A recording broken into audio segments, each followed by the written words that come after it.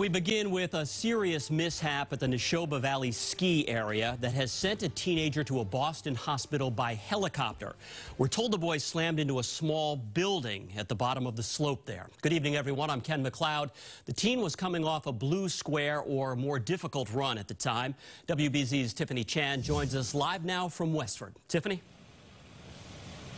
Yeah, Ken, we have yet to get an update on that victim's condition, but we do know he is 18 years old and was wearing a helmet at the time of the accident. The president here at no Nashoba Valley Ski says this accident happened at around 1.15 this afternoon. This young man was apparently coming off of a trail that was marked difficult, lost control, and was ejected from his skis. He started sliding down this trail and slammed into a shed that was off the trail. Now, he was unconscious at the time when EMS arrived and had to be med flighted to the hospital. The president here at the ski area explaining those rescue efforts. Take a listen.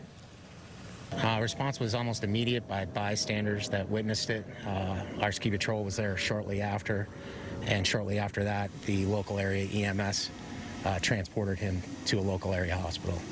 Uh, it seems as though face lacerations as well as a head injury were sustained.